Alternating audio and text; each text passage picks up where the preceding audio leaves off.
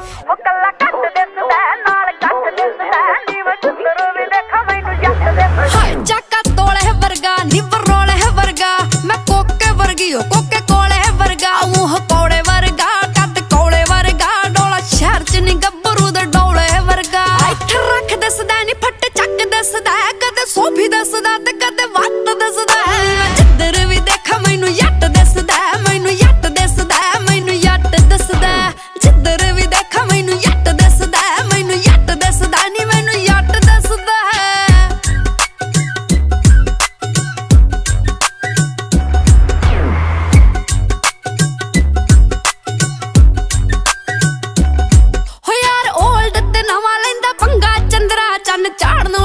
चांदी